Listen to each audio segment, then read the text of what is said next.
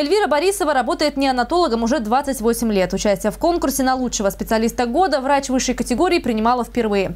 Эльвира Разимовна смогла успешно пройти три этапа отбора. По результатам краевого она заняла призовое место.